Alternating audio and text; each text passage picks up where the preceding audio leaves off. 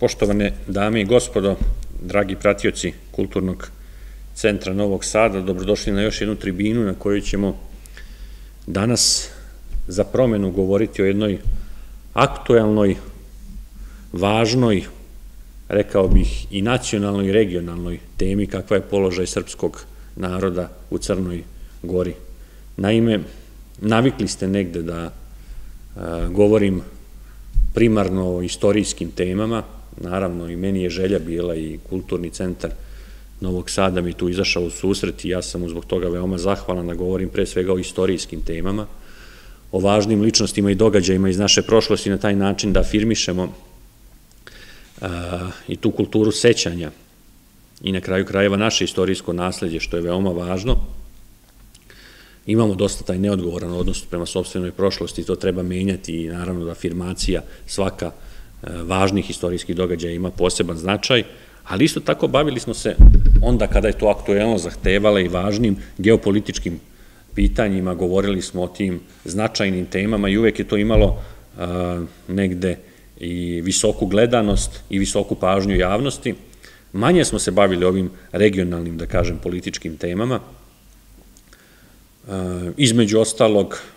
negde i aktuelnost ovih globalnih dešavanja je, čini mi se, prevazilazila aktuelnost dešavanja u regionu, ali nismo ni od njih bežali. Ako setite, nedavno sam govorio i o toj famoznoj rezoluciji o Srebrenici i njenim posledicama i po srpsko-bošnjačke odnose, po region i geopolitičke odnose, pa smo govorili na neki način o dešavanjima u Crnoj Gori, ali to je ono vreme koje je bilo, da kažemo, najaktuelnije kada govorimo o političkoj situaciji u Crnoj Gori a to je naravno 2020. godina i one veličanstvene litije i sve ono što se kasnije dešavalo, tu mislim na izbore od 30. augusta, nakon kojih je jedan višedecenijski režim se urušio, naravno mislim na režim Mila Đukanovića i njegovog DPS-a, koji je ništa drugo do reformisani Savez komunista Crne Gore, faktički jedan režim koji je funkcionisao od 1945. do 2020. godine i to je svakako jedan istorijski događaj tako će se tretirati u budućnosti, tako već sada može da se tretira, kao što su i te veličanstvene litije bile jedan nesvakidašnji, nesvakidašnji događaj, nešto što nismo imali prilike da vidimo ni u Evropi, ni, ni u svetu, ali svakako je imalo izuzetne posledice po budućnost Crne Gore i svega što se kasnije dešavalo. Naravno da je tada aktuelnost tih događaja bila nešto što nas je usmeravala da govorimo o toj temi, I svakako ćete se sada i zapitati zašto baš danas da govorimo o Crnoj Gori, jer nema tih e, događaja ili nema takvog događaja koji može da privuče tu pažnju javnosti. Svakako da je politička scena u Crnoj Gori dinamična od 2020. do danas, to je činjenica, ali ta dinamika postoji konstantno, pa postoji. S druge strane, imamo i tu ulogu koju Crna Gora imala u samoj rezoluciji o Srebrenici, pa se na to nadovezuje i ova rezolucija o Jasenovcu i to je ostavila određene posledice naravno i, i, ima određeni odjek u međunarodnom, ima određeni odjek pre svega u regionalnoj, regionalnoj javnosti, ali nekako bismo rekli da ni to nije dovoljno da se negde govori o aktuelnosti neke situacije u Crnoj Gori. Međutim, ono što je mene najviše podstaklo da govorim o ovoj temi je u stvari nešto što je konstanta. A konstanta je srpsko pitanje u Crnoj Gori. I ono je konstanta već decenijama unazad. Naročito od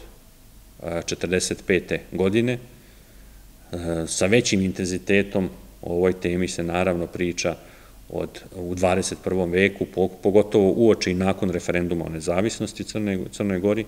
I vi kada vidite to srpsko pitanje u Crnoj Gori, danas negde nešto preko čega se i prepliću politički odnosi u Crnoj Gori. A zašto je to važno? Pa zbog toga što imamo jednu neverovatnu situaciju danas, ja bih rekao tako nešto je možda bilo nezamislivo da može uopšte da se desi u Evropi u 20. naročito drugoj polovini 20. a kamoli u 21. veku, a to je da jedna etnička zajednica i njeni politički predstavnici budu na neki način izolovani iz političkog života u određenom segmentu, tačnije stavim se barijera na mogućnost da učestvuju u izvršnoj vlasti na najvišem nivou u Crnoj Gori. Naravno, tu mislim na političke partije u Crnoj Gori sa, srpskim predznakom, za koje i određeni strani faktori, ali veliki broj unutrašnjih političkih činilaca smatra da ne bi imali, ne bi trebali da učestvuju u izvršnoj vlasti na najvišem nivou, da budu zastupljeni u rangu ministara, da ne govorimo o mestu eventualno predsednika, predsednika vlade. To je nešto što se kosi sa nekim osnovnim ljudskim pravima i manjinskim pravima na kraju krajeva, pa da se ne radi o manjinskoj zajednici, a ne radi se o manjinskoj zajednici, Crna Gora je naravno građanska država, ali u svakom slučaju srpska etnička zajednica je druga po brojnosti u Crnoj Gori i njeni politički predstavnici da dođu u takvu situaciju da za tako nešto postoji podrška međunarodne zajednice, to je zaista nešto, ili određeni centara moći u međunarodnoj zajednici, to je zaista nešto što je teško objašnjivo i na kraju krajeva je i necivilizacijski čin. U svakom slučaju, želja mi je negde da upravo kroz tu temu važnosti i značaja tog srpskog pitanja u Crnoj Gori danas, govorimo o tome šta su i perspektive kada govorimo o položaju srpskog naroda u Crnoj Gori, a u svetlu toga da je negde i ova vlada Milojka Spajića najavila, ili kada je formirana, bilo je dogovoreno da će ona do kraja ove godine biti rekonstruisana i da će eventualno Srbi ući u tu vladu ili srpski politički predstavnici. Što bi zaista bio jedan, rekao bih, izuzetno važan politički iskorak koji bi imao i tekako značajan uticaj na dalje dešavanje u Crnoj Gori, a ostavio bi posledice, naravno, rekao bih, i šire. E, ali, na samom početku, pre nego što negde analiziramo tu situaciju i eventualno učešće Srba u toj vladi, u rekonstruisanoj vladi Crne Gore, želeo bi negde da se upravo vratimo na suštinu svega, a mislim da se sve vrti oko toga, oko srpskog pitanja u Crnoj Gori, i onda će nam biti negde lakše i da razumemo zašto je važno da Srbi konačno budu vlast ili deo vlasti u Crnoj Gori i zašto je važno da se ta barijera koja postoji, koja je stvorena, za koju, ponavljam, nema nikakvog opravdanja, bude konačno i srušena. Naime, kada govorimo o srpskom pitanju u Crnoj Gori, tu treba reći da se pre svega moramo vratiti u period 1945. godine, taj period nakon završetka drugog svetskog rata, jer srpsko pitanje u Crnoj Gori faktički e, nije ni postojalo, niti nacionalno pitanje u Crnoj Gori nije nešto ni što se moglo aktualizovati ranije, jer u 19. veku vi ste imali negde jasan stav i javnosti Crne Gore i na kraju, na kraju krajeva i vladara iz kuće Petrovića, koji su svi listom, naravno, isticali i svoje srpstvo i ne stideći se naravno ni svog srpstva, ni, svoje, ni, svoje, ni svog crnogorstva i jedno i drugo su bili tekako povezani i jedno i drugo nisu bili oportuni, nego su išli jedno sa drugim, jer crnogorstvo je bilo nešto što je bilo regionalni pojam, srpstvo je bilo nešto što je bilo nacionalni pojam i naravno da je tako nešto suštinski bilo, bilo neupitno samim tim otvarati nacionalno pitanje, govoriti o nacionalnom pitanju u Crnoj Gori u 19. veku je suštinski bilo bespredmetno. Kao i u suštini početkom 20. veka. Kada se situacija menja, pa situacija se menja u suštini nakon drugog svetskog rata. Zašto? Zato što su tadašnje komunističke vlasti u Jugoslaviji uspostavile jedan politički narativ na kom će i počivati ta komunistička Jugoslavija, po kom će i funkcionisati komunistička Jugoslavija, a to je taj princip svima nama dobro poznat kao što slabija Srbija, to jača Jugoslavija. U stvari, komunistički kreatori politike usvojili su stanovište da je ključni uzrok nestabilnosti monarhističke Jugoslavije, velikosrpska hegemonija, koja plaši ostale narode u Jugoslaviji, da samim tim srpski uticaj u Jugoslaviji treba umanjiti, Srbiju generalno treba u Jugoslaviji umanjiti, kako bi se ostali osjećali manje ugroženo ili ne bi se osjećali ugroženo, što bi iznutra negde stabilizovalo, stabilizovalo tu zemlju. Čitava ta priča, naravno, o velikosrpskoj hegemoniji počiva na jednom narativu koji je još nakon Prvog svetskog rata nametala kominterna komunističkoj partiji Jugoslavije, želeći da koristi komunističku partiju Jugoslavije kao oružje u obračunu sa, sa tadašnjom mladom jugoslovenskom kraljevinom, kraljevinom SHS, koja je imala izrazito antisovjetski karakter, i to ne samo zbog porodice Karadžorđević ili Aleksandra Ujedinitelja, koji nikada komunistima, bolševicima u Rusiji nije oprostio ubistvo carske porodice i sve što su učinili toj zemlji, nego i zbog toga što je ta Jugoslavija kao versajska tvorevina imala važnu ulogu u suzbijanju sovjetskog uticaja i mi znamo da Jugoslavija, faktički kraljevina Jugoslavija, do predvečeri drugog svetskog rata nije uopšte imala diplomatske odnose sa Sovjetskim savezom. Tako da je Sovjetski savez generisao jednu ideju da je velikosrpska buržoazija u stvari podjarmila druge, druge narode Jugoslaviji i da tu Jugoslaviju treba razbiti kao veštačku tvorevinu i da i Hrvati i Slovenci trebaju dobiti svoje nezavisne države i Makedonci i da Crna Gora treba biti nezavisna država pa da i Albanci trebaju imati mogućnost da se ujedine sa svojom matičnom zemljom, isto je važilo i za Bugare i za Mađare. Uglavnom, ono što su komunisti predvideli bilo je uglavnom rešavanje svih nacionalnih pitanja u Jugoslaviji sem srpskog nacionalnog pitanja. Zašto su Srbi ostali po strani, zašto komunisti za Srbe nisu imali rešenje, pa zato što su negde u Srbima videli ključni kohezivni faktor te Jugoslavije, bar oni kreatori politike u Kremlju, i zato je taj srpski faktor trebao biti što više oslabljen i na taj način se Jugoslavija i trebala iznutra, iznutra podrivati. U svakom slučaju menjali su komunisti taj stav koji su tada bili usvojili nakon um, recimo od sredine 30-ih, oni napuštaju tu ideju razbijanja Jugoslavije, ali ne, puštaju, ne napuštaju ideju o velikosrpskoj hegemoniji kao ključnom uzročniku i problemu u Jugoslaviji. I nakon drugog svetskog rata vi vidite da politika koja se sprovodi u Jugoslaviji je upravo u skladu sa tim načelima. Velikosrpska hegemonija se treba eliminisati. Kako će se eliminisati? Tako što će, na primer, Bosna i Hercegovina, u kojoj je većinsko srpsko stanovništvo, neće gravitirati Srbiji, čak neće imati ni autonomnu pokrajinu u okviri Srbije, iako je takvih ideja bilo, nego će biti posebna, posebna republika. Pa Makedonija koja je u sastavu Srbije ušla u Jugoslaviju, ona će biti izdvojena takođe kao posebna republika, gde se naravno postiče i razvijanje makedonske nacije, sa druge strane i Crna Gora će biti posebna naravno republika, a takva Srbija koja je još ostala, ona će dobiti dve pokrajine, pošto i takva Srbija bila suviše velika i skoro 50% Jugoslavije je negde obuhvatala, tako da i taj uticaj bio prevelik. A, negde je, kada govorimo o Crnoj Gori, situacija je bila najspecifičnija, zato što a, negde stvaranje tih nacionalnih identiteta, inženjering nacionalni, koji je sam po sebi u tom procesu bio veoma važan, zašto važan? Zato što su kreatori te politike slabljenja uticaja srpskog faktora u Jugoslaviji dobro razumeli da nije dovoljno, na primjer, izdvojiti Crnu Goru kao posebnu federalnu jedinicu, već da bi se oslabio uticaj Srbije, bilo je važno da ta Crna Gora bude e, što više udaljena od Beograda, a što više bliska nekim drugim centrima moći u toj, u toj Jugoslaviji, isto je važilo i za Makedoniju, isto je važilo naravno i za Bosnu i Hercegovinu. I samim tim taj nacionalni inženjering koji je sprovođen u Jugoslaviji je imao poseban,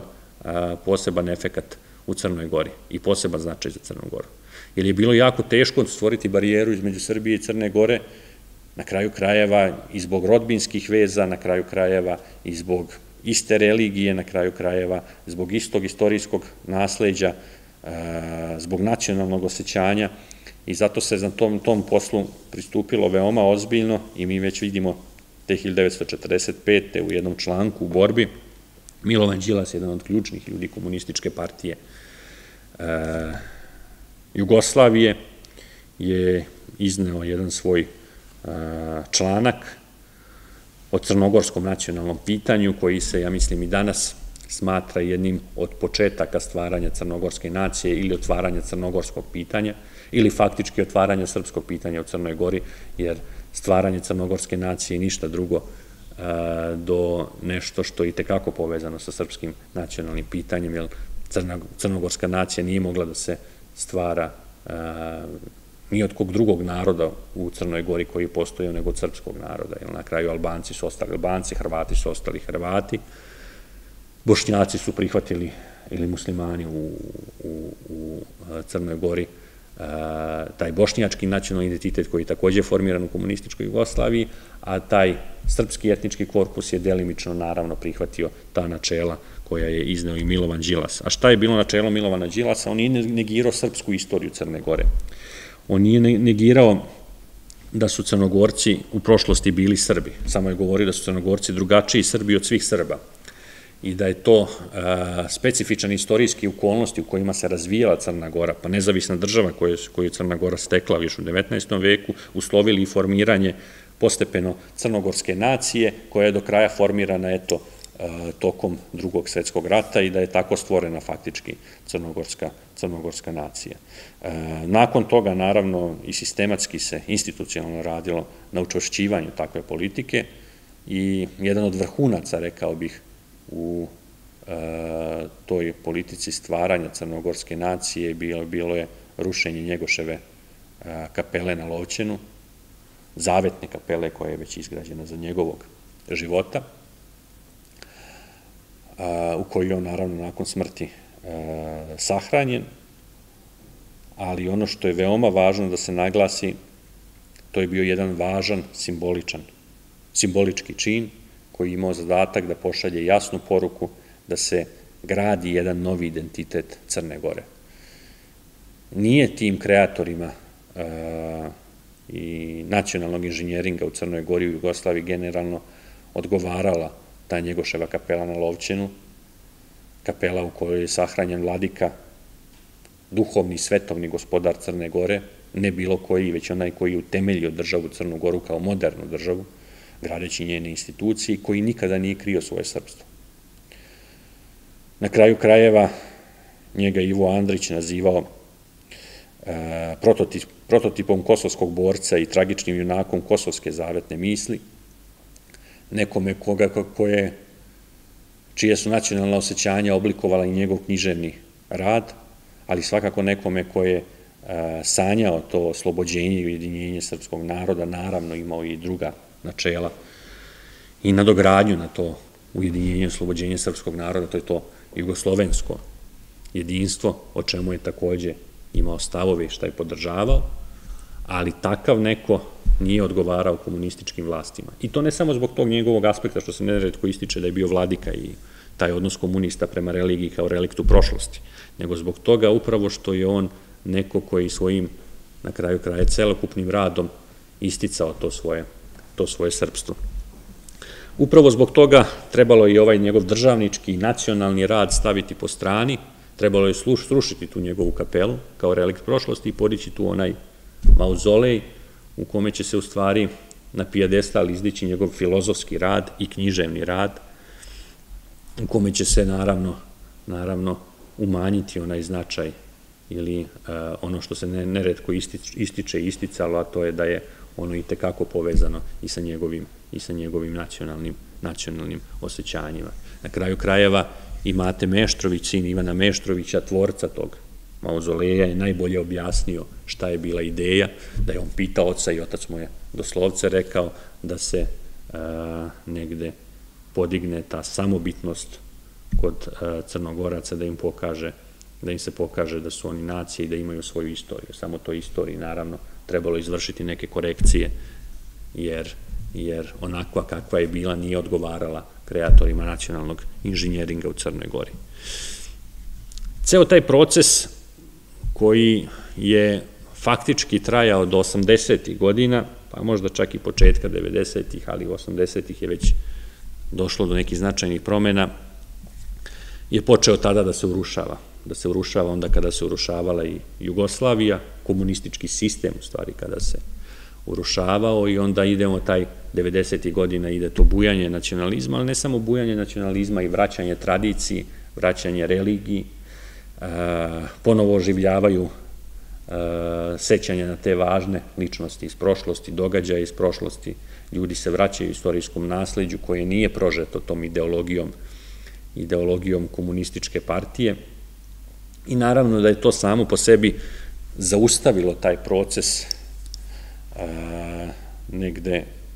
desrbizacije Crne Gore koji je sistemski, sistemski sporovođen ili da je bio negde neka vrsta pauze u procesu formiranja crnogorske nacije, da bi čitav taj proces ponovo živeo, pa recimo već krajem tih 90. godina prošlog veka, naročito je uzeo maha u oči i nakon referenduma o nezavisnosti Crne Gore, gde je na sebe ulogu da bude nosilac tog projekta stvaranja crnogorske nacije i desrbizacije Crne Gore preuzeo niko drugi do predsednik Crne Gore i premijer, do duše, obavio dužnosti premijera i predsednika Crne Gore, ali u svakom slučaju lider DPS-a Milo Đukanović. to je bio taj ključni moment nakon toga sa još većim intenzitetom se sprovodi ta politika destrbizacije Crne Gore, s tim što treba naglasiti da je Đukanović otišao čak korak dalje od Milovana Đilasa koji se, kao što znamo, na kraju života i pokajao zbog svega toga što je radio, vratio se svom srpstvu, ali ono što je veoma važno, da Milovan Đilas, kao što sam rekao u tom svom članku u borbi, nije ni negirao taj, e, te srpske korene e, crnogorske nacije ili srpstvo u 19. veku u Crnoj Gori. On je samo smatrao da, su, da, da je došlo do određene evolucije, što ne mora biti netačno samo po sebi, jer nacije se stvaraju, naravno, i, i nestaju, i, i to je proces koji traje. I sada se stvaraju nacije, i sada nestaju neke nacije, i tome nema kraja. I nemojte me pogrešno razumeti, ne negiram ja postojanje crnogorske nacije, daleko od toga, ako se ljudi osjećaju kod crnogorci, To je njihovo pravo i to niko ne sme da im spori, nego samo kažem da je ta nacija mlada, da je nastala u 20. veku i da je plod delovanja upravo komunističke partije, komunističke partije Jugoslavije, iako nije jedina, imali su i neki drugi takođe takve i slične planove. Elem, e, Milo Đukanović je to sproveo sa jednom novom energijom ili nastavio da sprovodi sa jednom novom energijom u snažan institucionalni pritisak države, gde ste vi imali određene institucije koje se formiraju sa tim zadacima, da rade na jačanju te crnogorske nacionalne svesti, gde ste vi imali faktički uh, potiskivanje Ćirilice, gde ste vi imali uh, izmenu učbenika, i tu ne govorimo samo o izmeni istorijskih učbenika, već govorimo i o književnosti, negde izbacivanje i pesnika i, i, i pisaca koji su uh, najvećih srpskih pesnika i pisaca nekih, a sa druge strane uh, marginalizovanje negde tog uticaja srpske kulture generalno, a koja nije isključivo iz Crne Gore. Faktički provodio se jedan, dok su naravno u istoriji se tu u reviziji otišlo najviše tu se negde insistiralo na tome za razliku od Milovana Đilasa koji ponavljam je tvrdio da postoji ta srpska istorija Crne Gore u 19. i početkom 20. veka Milo Đukanović otišao toliko daleko da je on sa svojim revizionistima tvrdio da to čak uopšte nije tačno, da ne postoji, da je to produkt nekih spojnih uticaja zavere koja se kovala oko Crne Gore, a koji su kovali velikosrpski krugovi u Beogradu još od 19. veka do danas i da su oni stvarali lažnu istoriju Crne Gore, da su posrbljavali Petroviće i Njegoša i kralja Nikolu i onda bi izvlačili obično jedan segment iz negde dela rada tih ljudi, na primer nešto što je Nikola Petrović u Besu rekao Aleksandru Karadžorđeviću i svega i svemu tome što je došlo nakon razlaza između Petrovića i, i a nakon Prvog svetskog rata kada su oni Petrovići negde izgubili presto,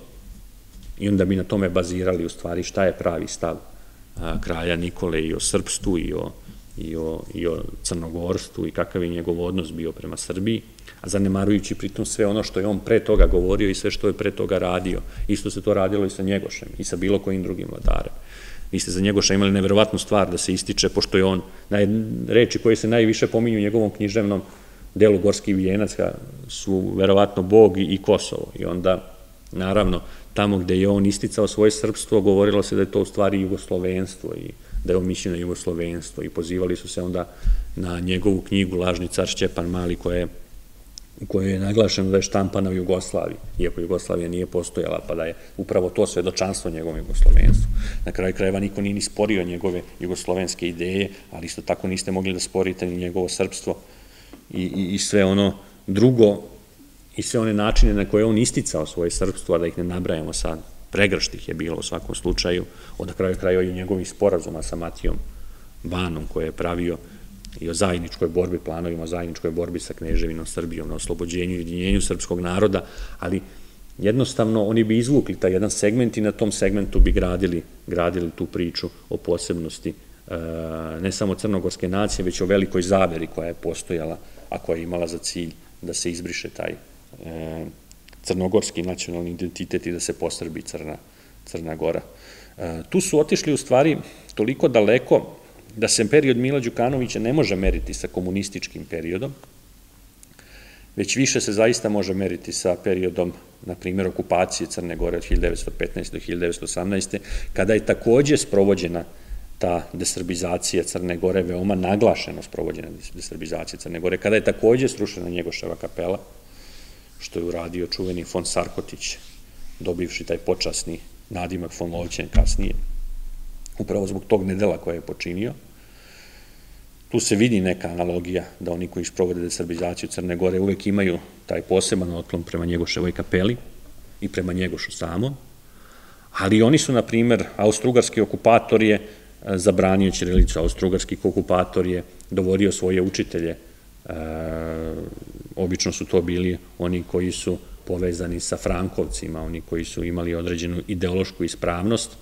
a koji su imali zadatak da stvaraju, jel te, nove mlade generacije crnogoraca, da ih obrazuju u jednom duhu koji ne bi bio srpski, već u drugom duhu, duhu koji bi odgovarao samom Bečkom dvoru. Naravno da su oni tu oslanjali pre svega na Zagreb i te veliko nacionalističke, frankovačke, pravaške, kako god hoćete, sve krugove u Zagrebu koji su u Hrvatskoj, koji su Crnoj Gori videli crvenu Hrvatsku, koji su imali svoje velikonacionalne planove i programe, ali u svakom slučaju ono što je važno da naglasimo, čitav taj proces se uklapao u tu jednu stratešku politiku Beča, koji je u stvari u Crnoj Gori i formiranju Velike Albanije video taj bedem koji će im omogućiti da i zaštititi desni bok njihove ekspanzije dalje, dalje prema, prema Egejskom moru i Luci Solun. Naravno da je Srbija, kao što znamo i nećemo se na to vraćati, Austro-Ugarskoj bila kost u grlu, da je ti, ti njihovi planovi u ekspanziji su išli preko Bosne i Hercegovine, Novopazarskog Sanđaka, pa preko Kosova i Metohije prema Skoplju i dole prema Solunu i da je njima neprihvatljivo bilo spajanje Srbije i Crne Gore i zato je bilo potrebno stvoriti taj dubok jaz između e, naroda u Srbiji i Crnoj Gori, da se tako nešto uopšte ne omogući. Naravno, računali su i na to da ujedinjenje Srbije i Crne Gore, približavanje Srbije i Crne Gore je jačalo taj srpski faktor, jačalo tu uh, ulogu Pijemonta za koju je negde postojao strah u Beču da bi srpski faktor mogao imati na Balkanu, oko koga bi se objedinili drugi južni Sloveni, pa i njihovi južni Sloveni, tačni južni Sloveni pod njihovom vlašću, tako da su svakako oni imali strateški, strateške planove o tome da Crnoj Gori treba sprovesti desrbizaciju i da srpski uticaj generalno u regionu treba, treba negde umanjiti. I oni su to revnosno, odlučno sprovodili i ponavljam to i tekako je podsjećalo na to vreme, vreme Mila Đukanovića, pa je to čak otišlo toliko daleko da ste vi imali neke neverovatne situacije za koje ja mislim i danas su neobjašnjive, da je neko ko je obrazovan čovek, ko je rektor univerziteta u Crnoj Gori sa spomenika svog oca, pokojnog oca, gde je upisano srpski junak, on briše ono srpski, pa to kolektivno ludilo je uzelo toliko maha da je onda Skupština Crne Gore posebno zasedala kako bi poništila odluke Podgoričke skupštine o ujedinjenju Srbije i Crne Gore stotinu godina stotinu godina vek i više od veka kasnije. To su zaista ti neki momenti koji su neobjašnjivi, ali koji su i kao svoj vrhunac imali onaj čuveni zakon o slobodi veroispovesti, koji je u stvari trebao da završi taj ceo proces desrbizacije Crne Gore na taj način što bi se i pravoslavna crkva u Crnoj Gori, Srpska pravoslavna crkva stavila pod kontrolu države. Bilo je naravno razloga zašto je to Milo Đukanović želeo i ekonomskih, stavljanje određenje zemlje koja je imala veliku vrednost pod kontrolu uh, određenih krugova koje su bili zainteresovani za gradnju, ali ima tu naravno i mnogo važniji, to je taj moment obračunavanja sa posebno poslednjom institucijom koja je predstavljala negde branu tom procesu desrbizacije Crne Gore. I naravno da je onda desilo se sve ono što se desilo, a to je taj jedan veliki odgovor naroda, to su bile te veličanstvene litije, i mnogi se pitaju kako je do tih litije došlo, pa onda vi kada sve ovo sagledate, onda vidite da kada ste narod oduzeli i pismo i jezik, kada ste e, ljudima e, menjali istoriju, menjali e, učbenike iz književnosti, uzimali ste im stvar po stvar, ne deo po deo, uzeli ste im pravo i da odlučuju o svojoj sudbini, pa ste ih protiv njihove volje uveli u NATO ili još gore, priznali ste nezavisnost Kosova, jedino što je tim ljudima ostalo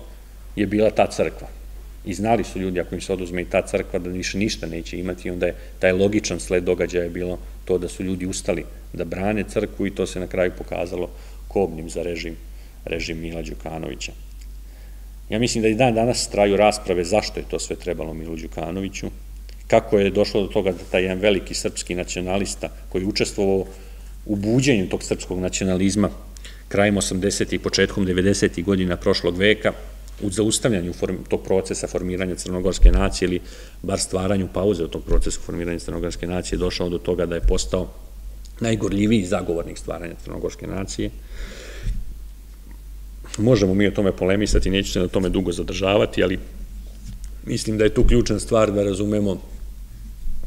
te političke uticaje koji su tu bili presudni, da razumemo da je Milo Đukanović bio pre svega pragmatičan političar koga je interesovala jedino vlast i to mu je bio prioritet svih prioriteta i očuvanje te vlasti. Da svedoče tu ljudi koji poznaju njega i učesnici su tih događaja, najverovatnije su ključni razlozi zašto je krenuo tim putem bili potreba da se ima nezavisna država, između ostalog zbog toga što je Crna Gora bila jedan od centara šverca i od toga se zarađivao duvana, od čega se zarađivala ogromna količina novca. U saveznoj državi on je to morao da deli sa drugim centrima moći, ovako u nezavisnoj nije morao da deli, tako da je to značilo prikupljanje više novca. Ali sa druge strane, ono što je takođe to donelo sa sobom je donelo i opasnost od međunarodnih istraga da bi se zaštitio tih međunarodnih istraga, on je odlučio da će izaći u susret tim zapadnim centrima moći, a koji su od njega imali značajne očekivanja. Jedno od tih ključnih očekivanja je bilo, bilo da on njima isporuči u stvari Slobodana Miloševića, da od Crne Gore stvori poligon za rušenje Slobodana Miloševića, Nakon toga da sprovede određene procese koji su za njih veoma bili važni kada je to sprovedeno delo, to je da Crna Gora postane nezavisna država, što je, ponavljam, išlo u skladu sa njegovim interesima. Zašto da Crna Gora postane nezavisna država? Jer se time olakšavao i proces stvaranja projekta, realizacije projekta nezavisnog Kosova, umanjivao se značaj Srbije, što je i tekako važno za te određene zapadne centre moći koji u Srbiji vide produženu ruku Rusije,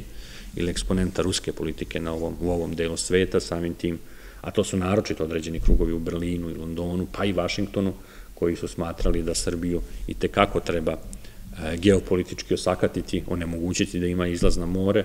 a, a e, najbolji način da se to, jedini način da se to sprovede u delo je da se naravno Crna Gora odvoji, odvoji od Srbije. I ne treba zanemariti naravno tu tradicionalnu nemačku politiku, čiji uticaj Nemačke je jak bio, naročito posle pada Berlinskog zida, koji je podrazumevao da e, Srbija takođe ima prevelik uticaj na Balkanu i da je uticaj treba umanjiti, da on bude u rangu sa hrvatskim, albanskim i drugim uticajima u regionu. A kako to uraditi, između ostalog i na taj način što Srbiju treba što više teritorijalno umanjiti, tako da odvajanje Crne Gore od Srbije je bio jedan proces u tom pravcu stvaranja što malih država, manjih država na Balkanu, usitnjavanja Balkana, kasnije i stvaranja te lažne države Kosovo. I onda kada sve to uzmete u obzir, onda vidite da su se različiti interesi tu poklopili. Da ne govorim o određenim interesima i određenih krugova u katoličkoj crkvi koji su i ranije imali planove i ideje o tome ili koji su večito u svojoj misionarskoj ulozi borbe za duše vernika, a koji su i ranije imali ideje o tome da Crnu Goru treba približiti, približiti e, katoličkoj crkvi i verni narod u Crnoj Gori, tako da je tu, ponavljam, bilo različitih interesa koji su objedinili i Đukanović je to kao pragmatičan političar dobro prepoznao. On je zaštitio i svoje ekonomske interese, on je na taj način e, na kraju krajeva izašao susret zapadnim centrima moći koji su imali presudnu ulogu, i on je negde sačuvao, sačuvao svoju poziciju, samo je došao u tu situaciju da u jednom trenutku on je ispunio sve te naloge koje je dobio od Zapada, a onda kada je ispunio sve naloge, kad je Crnogora uveo NATO i kad je priznao nezavisno Kosovo i kad je Crna Gora postala nezavisna i to upravo na temeljima na kojima su oni insistirali, to su antisrpski temelji, ponavljam i to je veoma važno. Kao što su i komunisti znali da je veoma važno da Crna Gora bude desrbizovana, Zašto? Zato što čak i ako stvorite federalnu jedinicu Crnu Goru u Jugoslaviji, ukoliko u njoj postoji jak srpski karakter, oni će prirodno gravitirati Beogradom. tako i na zapadu su razumeli da u Crnoj Gori, čak i kada postane nezavisna, je važno da postoji taj snažan antisrpski narativ. Zašto? Jer ukoliko je ona dominantno srpska, ukoliko postoji taj srpski karakter Crne Gore, ona će gravitirati Beogradu. I zato se na kraju krajeva insistiralo, insistiralo na tome i zato se i podržavala ta politika Mila Đukanovića koja je, koja je bila, ponavljam, izričita u tome da ne postoje nikakve nikakva srpska prošlost u Crnoj Gori ili srpski karakter crnogorske države u 19. veku ili bilo kada, ili crkve ili bilo čega, već postoji samo jedna velika obmana koju, koju su velikosrpski krugovi stvarali u Crnoj Gori. Međutim, bilo kako bilo, Milo Đukanović je završio svoju političku karijeru, DPS je otišao negde i na smetlište istorije, bar u toj formi u kojoj je bio, ali su ostale dramatične posledice koje mi vidimo i danas. Zašto kažem dramatične posledice? Pa pogledajte samo društvo u Crnoj Gori. Takva politika koju je kreirao DPS, gde vi faktički govorite o tome da su Srbi ništa drugo do i srpski element u Crnoj Gori, ništa drugo do prethodnica velikosrpskog nacionalizma koja ima zadatak da uništi Crnu Goru, duboko je polarizovalo crnogorsko društvo. To se vidi na nivou običnih građana, porodica, da imate jasne podele i čvrste podele na Srbe i Crnogorce. Naravno da taj, taj narativ koji generišete u kome govorite o toj velikoj zaveri, da je on nešto što stvara i velike podele, jer kako drugačije da oni koji se osjećaju crnogorcima gledaju na one koji žele da unište Crnu Goru, nego da ih gledaju kao neprijatelji. Samim tim, ponavljam, te nacionalne podele su izrazite, snažne, I ono što je veoma važno da naglasimo, tu Đukanović se nije zaustavio. On je igrao i na druge nacionalne podele u Crnoj Gori, igrao je na te nacionalne animozitete koji su postojali, naročito kada govorimo o bošnjacima, albancima i hrvatima prema Srbima, što je na kraju krajeva određenoj meri razumljivo, jer uvek će albanac žive u Crnoj Gori, žive u Srbiji, žive u Engleskoj, Australiji, gledati na Srbe kroz vizuru kosovskih albanaca ili će bošnjaci gledati, pa živeli u Nemačkoj, Americi ili u Crnoj Gori kroz vizuru, vizuru svega onoga što se dešavalo dešavalo u Bosni i Hercegovini, ali je činjenica da Milo Đukanović nije radio negde na tome da te animozitete e, umanji, da integriše to društvo, već je više radio na njegovim podelama i dezintegracijama i to se sećate čak i uoči izbora u Crnoj Gori, vi ste imali te neverovatne situacije te 2020. o navodnim napadima koji se sprovode na Bošnjake, što je negde perfidno imalo za cilj da se upravo stvori ta lažna slika o namerama Srba da izvrše neki pogrom nad Bošnjacima ili da se jednostavno podignu te nacionalne tenzije. Zašto su bile bitne te tenzije Milo Đukanoviću, naročito pre kraja njegove vlasti? Ponavljam, on je na toj polarizaciji stvarao crnogorsku naciju s jedne strane, a s druge strane on je na tome i politički tekako profitirao. Zašto? Zato što je on za sebe na taj način vezao te manjine, tvrdeći da je on njihov branilac od velikosrpske hegemonije, vezao taj crnogorski korpus, tvrdeći da on brani Crnogoru od velikosrpskog nacionalizma i onda igrao na tu kartu da na izborima dobija na nacionalnom pitanju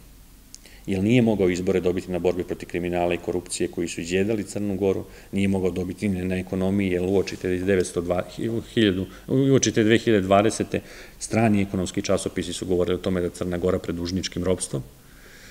I onda naravno ste imali tu situaciju koja je bila takva kakva jeste, da on jedino gde može da dobije na izborima, to je na tom nacionalnom pitanju. Između ostalog i zato se odlučio da negde otvori to crkveno pitanje i pitanje crkve u Crnoj Gori, jer je znao da će to još više produbiti, produbiti te nacionalne podale, samo što nije očekivao ovakav odgovor koji je, koji je dobio te, te 2020. godine. U svakom slučaju, u tom nacionalnom smislu, kao što sam rekao, on je duboko podelio Crnu Goru, crnogorsko društvo. Vidimo da je već njegovim odlaskom došlo do spašnjavanja tenzija i što vreme više prolazi, što je DPS, DPS više van vlasti, to je negde manji taj značaj i tih podela, ali one su i dalje snažne. I zato, između ostalog, bi bilo veoma važno da u narednom periodu Milojko Spajić ispuni to svoje obećanje dato svojim koalicijnim partnerima i da uvede, uvede demokratski front u vlast u Crnoj Gori. Zašto? Jer mislim da je to najbolji način da se pokaže da demokratski, nekadašnji demokratski front, da, da te političke partije, da kažemo, sa srpskim predznakom nisu antidržavni element, da oni nisu agenti tuđeg uticaja, da ti ljudi neće raditi protiv interesa svoje države. Jer e, jedini način da se to pokaže i najbolji način da se to pokaže da im se da mogućnost da vrše vlast. Onog momenta kada budu učestvovali u vlasti, vidjet će se da je sva ta priča koju je kreirao Milo Đukanović ništa drugo do običan, obična obmana koja je imala za cilj produbljivanje tih nacionalnih, nacionalnih tenzija. I naravno da će time te tenzije i podele u crnogorskom društvu još više splasnuti. Tako da bi to sa tog nacionalnog aspekta bilo blagodetno. Ali bi bilo blagodetno i sa još jednog aspekta, što nikako ne treba zanemariti. A to je činjenica da vi od 2000 20. Uprko padom režima Mila Đukanovića nemate ono što je narod žarko želeo, što mu je bilo potrebno kao voda i kao hleb, kao vazduh, a to je taj obračun sa kriminalom i korupcijom. I tekako je narod Crnoj Gori svestan koliko je ta država bila duboko kriminalizovana, korumpirana, i to zahvaljujući tom režimu DPS-a, i koliko je bio neophodan obračun sa tim kriminalom i sa tom korupcijom. Međutim, taj obračun nikako nije uspeo da se uspostavi, do dana današnjeg nije sproveden, ima određeni pomak, ali to ide sporo, ide praktično kroz porođajne muke. Zašto je to tako? Pa jedan od ključnih razloga je što kad pogledate političku scenu Crne Gore, vi vidite da sve vlade koje se formiraju od 2020. do danas su faktički manjinske vlade. Bilo da se radi o apostolskoj, pod navodnicima, vladi Zdravka Krivokapića, koja je formirana tako što je poslata poruka Demokratskom frontu, koji je preko 30% procenata glasova osvojio, koji je bio ubedljivo najjačiji među tim strankama koje su formirale novu koaliciju, poslao im poruku da ne mogu biti deo vlasti.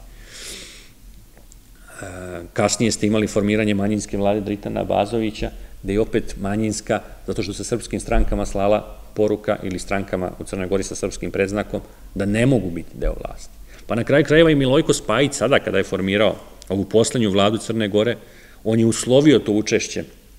srpskih stranaka u toj vlasti i nekim aranžmanom u određenom vremenskom intervalu koji mora proći, pa nakon tog vremenskog intervala, to je sad do kraja ove godine, će se raspravljati ulazku tih partija u vladu. To je upravo nasledđe tog Đukanovićevog delovanja, gde su te prosrpske stranke označene kao strani element, kao neko ko želi da narušava uopšte postojanje crnogorske države i samim tim kao takve te političke partije su neprihvatljive za saradnju i vi ste imali tu ogradu unutar samih tih koalicionih partnera ili partija koje su stajali na istom ili sličnom stanovištu sa demokratskim frontom, da se one demokratskog fronta ograđuju ili ograđuju danas od tih srpskih partija. Naravno, u velikoj meri je generisano to ne samo unutrašnjim stavom, bilo da se radi ured Ritana Bazovića, Alekse Bečića, ja verujem da su oni tekako svesni da se tu ne radi nikakvom državnom antidržavnom elementu, nego je to pre svega uslovljeno time što je taj narativ Milo Đukanović uspeo da nametne i međunarodnoj zajednici. I tu mu je veliku odlugu odigralo i onaj slučaj, naravno, lažnog državnog udara i svega što se onda dešavalo, gde je on stvarao tu sliku da je opozicija u Crnoj Gori, naročito prosrpske partije, da su to proruski element. Znamo da je to opasnost od ruskog uticaja u Evropi narasla poslednjih nekoliko godina. Samim tim ste vi imali snažnu stranu barijeru, stranog faktora koji je slao uvek poruku da tu vladu koju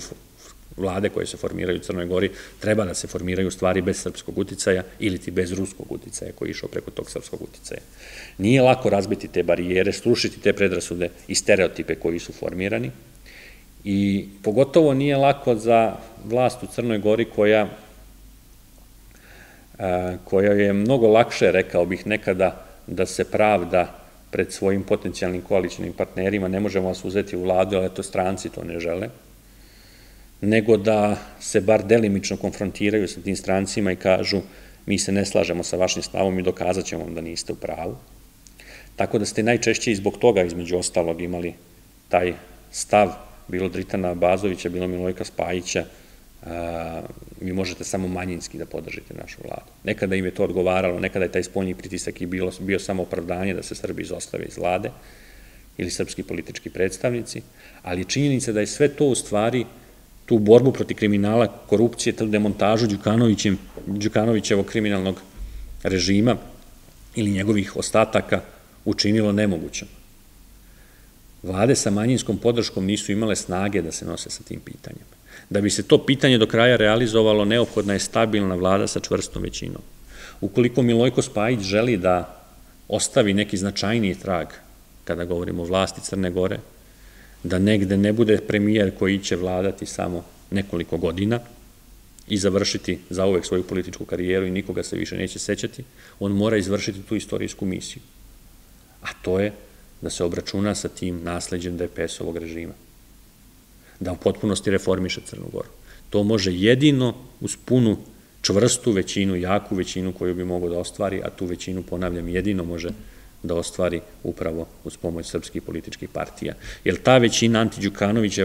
antiđukanovićevska koja se formira u Crnoj Gori zadnjih četiri godine, ona isključivo može da se formira uz podršku političkih partija sa srpskim predznakom. Bez njih ne može da se formira i to je suština.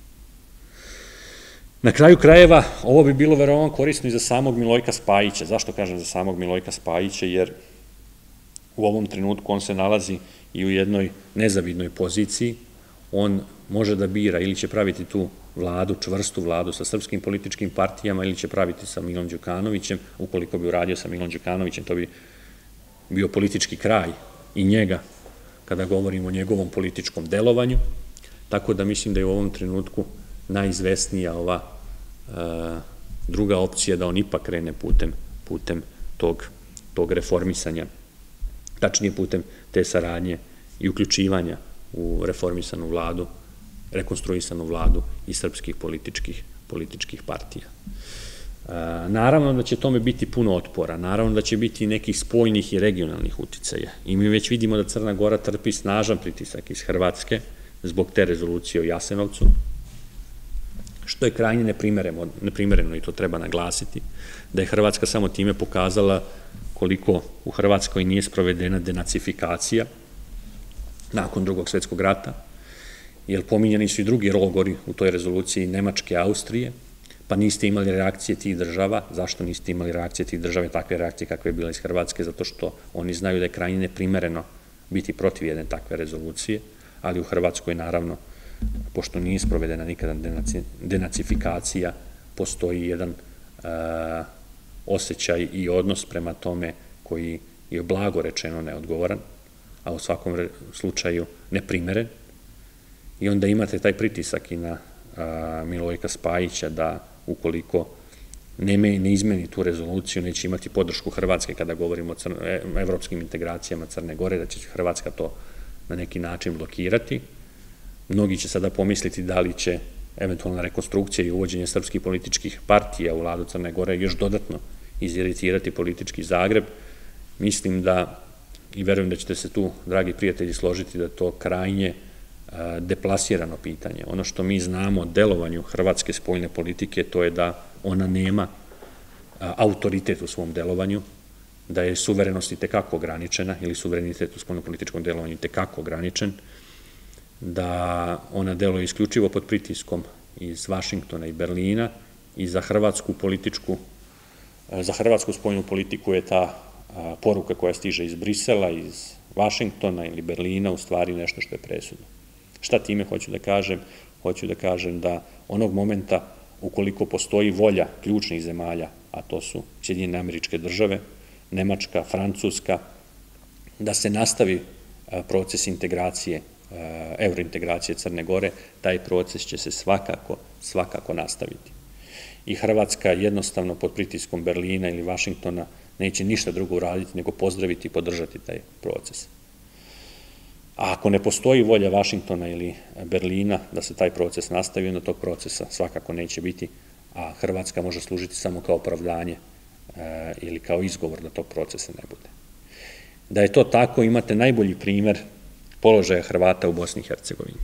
Hrvatska kao članica Evropske unije i NATO imala je bezbroj prilike da aktualizuje pitanje Hrvata u Bosni i Hercegovini, zaštite njihove od majorizacije koje bošnjaci sprovode,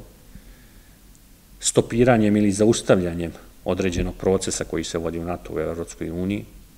kao što je to radila Mađarska i nikada to nisu radili. Zašto to nisu radili? Jednostavno zato što nemaju dovoljno snage i autoriteta da tako nešto uradi. Oni su uvek bili oni koji slušaju naloge, nisu bili oni koji kreiraju, kreiraju politiku, već koji izvršavaju naloge, to je suština. I tako će jednostavno biti u budeće. Ako Hrvatska nije bila spremna po pitanju Hrvata u Bosni i Hercegovini da se konfrontira Berlinu ili Vašingtonu, da li iko veruje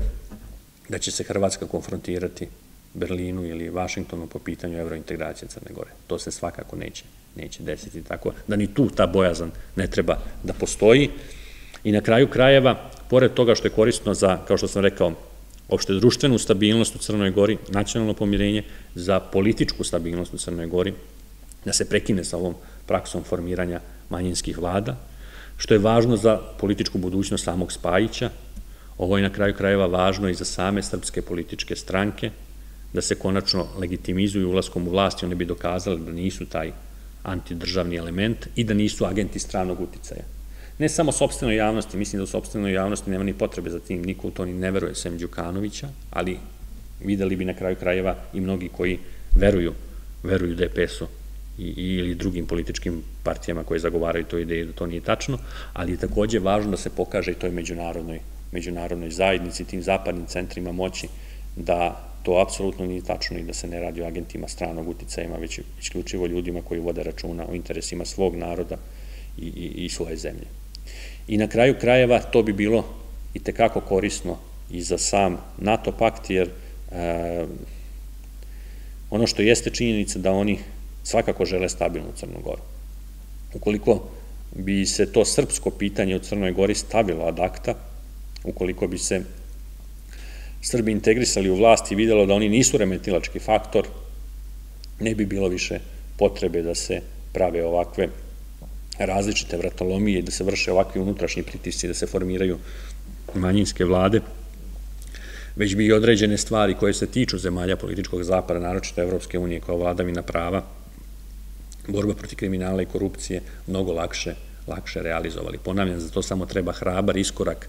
za koji se nadam da će ga Milojko Spajić imati. On je mlad političar i kao i Dritana Bazović čini mi se da je sklon bio da napravi tu grešku, možda je to karakteristika u stvari političara u Crnoj Gori, a to je da neretko